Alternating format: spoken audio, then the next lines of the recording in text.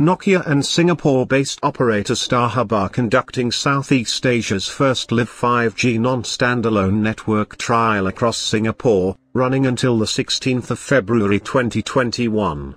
With StarHub as the first and early adopter of 5G services in Singapore, long-standing partners StarHub and Nokia have achieved another milestone. By leveraging existing 4G infrastructure, the trial 5G network will allow StarHub to provide higher data bandwidth and reliable connectivity to its subscribers without a major infrastructure overhaul. The network utilizes Nokia's end-to-end core and radio solutions, enabling the efficient use of spectrum to deliver 5G services.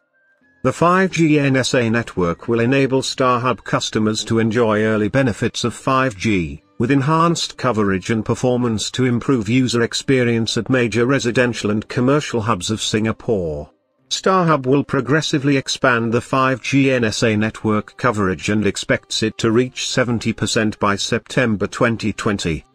Details of the project, which spans core and software, include Spectrum refarming was implemented in 900 MHz and 2100 MHz for LTE anchor layer and 5G operation, respectively.